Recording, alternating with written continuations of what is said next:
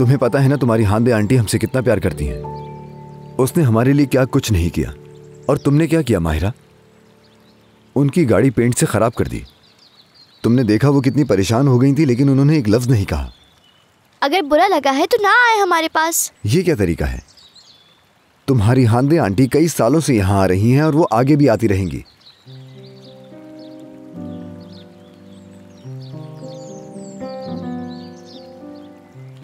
अगर किसी को हमारी वजह से परेशानी हो तो क्या हमें ऐसा करना चाहिए?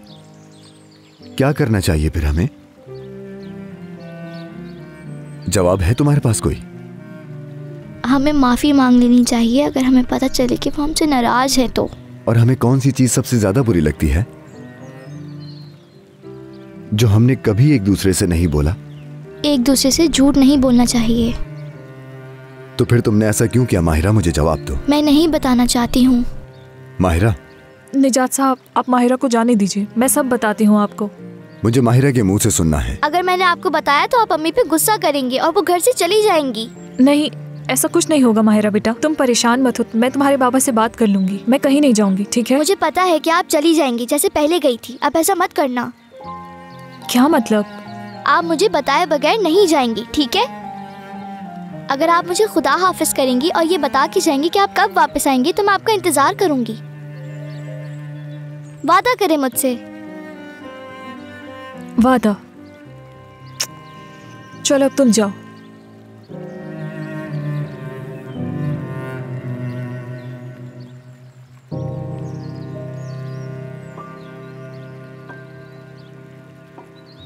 ठीक है, निजात साहब, तैयार हूँ मैं।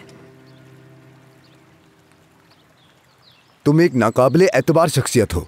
मैंने कैमरे की रिकॉर्डिंग देखी। हैरी भी तुम्हारे साथ था।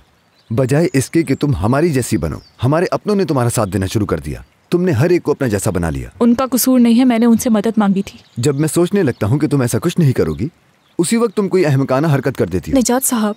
तुम मेरे घर का निज़ाम खराब कर रही हो समझ गई तुम? मैं निज़ाम ख़राब कर रही हूँ। आपको लगता है मैं माहिरा के लिए ठीक नहीं हूँ। शायद आप सही हैं। पहले वो बोट वाला मामला और अब ये।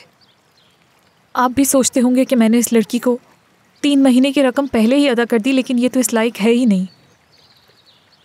और सही भी है। लेकिन माँ के किरदार को कैसे निभाना है ये मैं बिल्कुल नहीं जानती। माँ कैसी होती है, मुझे नहीं मालूम, मगर मैं इतना ज़रूर जानती हूँ कि एक छोटी बच्ची का माँ के बगैर बड़ा होना कितना तकलीफदेह होता है।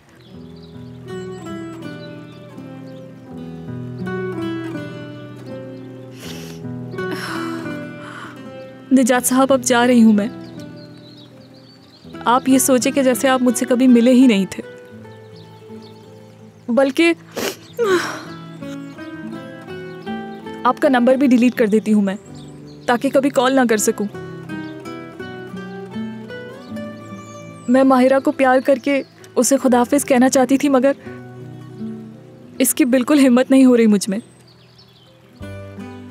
तो बस इसीलिए, और हाँ उसकी कहानी अधूरी रह गई है, आप उसे सुना दीजिएगा। और रही बात पैसों की, वो जल्द आपको लौटा दूँगी मैं।